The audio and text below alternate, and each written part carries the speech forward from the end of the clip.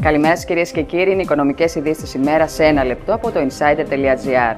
Έφτασε λοιπόν ο Αμερικανός πρόεδρος Μπαράκ Ομπάμα στην Αθήνα με την ελληνική κυβέρνηση να μην κρύβει τις υψηλές προσδοκίες της από την ιστορική αυτή επίσκεψη, με χρέος προσφυγικό κυπριακό αλλά και θέματα ασφαλείας να αποτελούν τους βασικούς άξονες συζητήσεων μεταξύ του ίδιου και του Πρωθυπουργού Αλέξη Τσίπρα. Σε φρούριο έχει μετατραπεί βεβαίως και η πόλη με τους άντρε ασφαλείας του Προέδρου να ξεπερνούν τους 500 και την ελληνική αστυνομία με περίπου 4.500 άτομα σε δράση, το κέντρο της Αθήνας είναι πραγματικά προσφέλαστο. Δημοσιονομικό κενό για την διετία 2017-2018 εντοπίζουν οι δανειστές που ζητούν διορθωτικές κινήσεις με πρόσθετα μέτρα περικοπών. Οι εκπρόσωποι των θεσμών θα βρεθούν ξανά σήμερα στο ίδιο τραπέζι με τους υπουργούς της κυβέρνησης σε ένα δεύτερο γύρο διαπραγματεύσεων, ο οποίος είναι προγραμματισμένος να ολοκληρωθεί την προσεχή Δευτέρα. Μαύρα μαντάτα για τις γερμανικές τράπεζες, σύμφωνα με τον Bloomberg. Το τραπεζικό σύστημα της μεγαλύτερης οικονομίας της Ευρωζώνης έχει στην πραγματικότητα πολλά ρήγματα. Τα αρνητικά επιτόκια και όλο ένα εντυνόμενος ανταγωνισμός οροκανίζουν την κερδοφορία τους.